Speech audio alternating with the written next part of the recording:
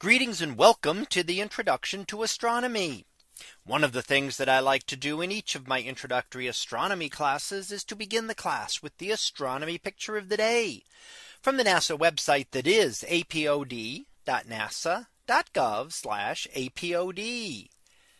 And today's picture for April 9th of 2023. Well, it is titled the Egg Nebula in polarized light. So what do we see here? Well, this is what is the, known as the egg nebula and what might be hatching out of the egg nebula.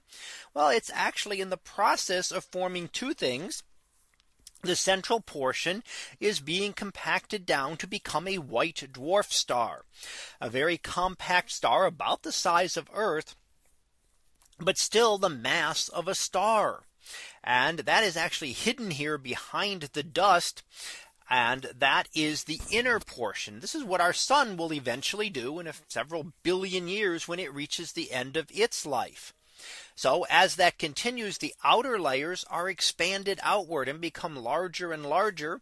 In this case, enveloping about one light year across. So not only filling the solar system, but for our sun, for our sun would be filling a decent way, a decent percentage of the way to the nearest star. Now this is the early stage kind of a pre-planetary nebula phase before the actual planetary nebula has had a chance to form. We can see how the outer layers are expelled out not all at once, but in different stages. And that's because of instabilities in the star as it reaches the end of its life. It becomes a very unstable star and any pulsations can actually push out outer layers of the star and expel them out into space. The star becomes so large that those outer layers are very loosely held by gravity.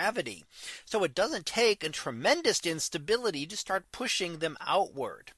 And we see that here. Now the colors that we see are color coded specifically to show the polarization of this.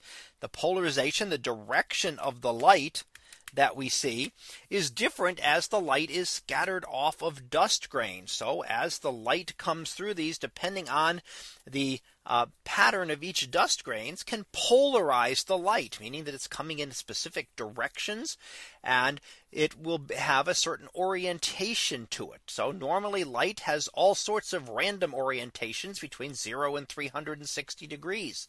Polarized light can have very specific uh, wave uh, very specific forms and can be blocked out. That's why I use polarized sunglasses are adjusted so that light that is polarized cannot get through them because it's vibrating in the wrong direction to be able to get through the polarizing lenses.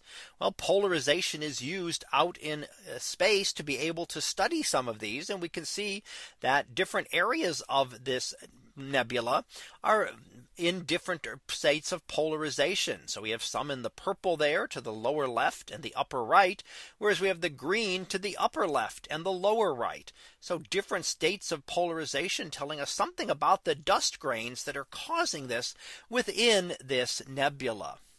So that was our picture of the day for April 9th of 2023. It was titled the Egg Nebula in Polarized Light. We'll be back again tomorrow for the next picture previewed to be big chicken. So we'll see what that is about tomorrow. And until then, have a great day, everyone. And I will see you in class.